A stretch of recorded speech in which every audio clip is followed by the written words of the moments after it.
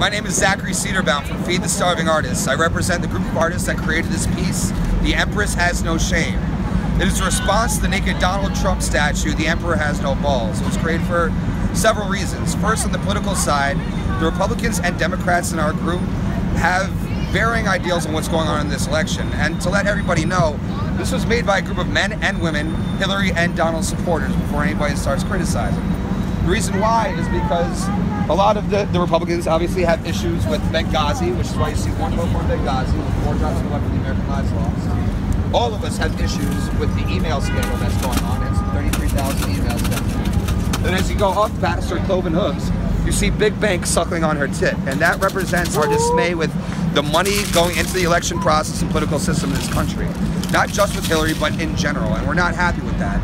And then through putting this statue out, very serious social issues came to light two of which the double standards of body shaming and freedom of speech.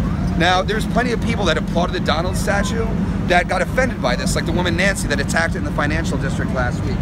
That's why it's missing hands. She jumped on it, ripped them off, called for other people to join in, and then when had people on the street trying to put it back up, she got violent.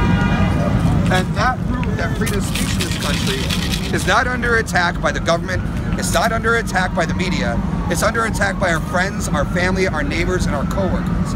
And until we can have conversations on both sides and find a middle ground, nothing is going to improve in this country and we're going to keep on sliding downwards. And that's really what this piece represents. I mean, this is Democrats, Republicans, men, women, and we were able to come together to create a piece for social change. If we can do that, so can everybody else.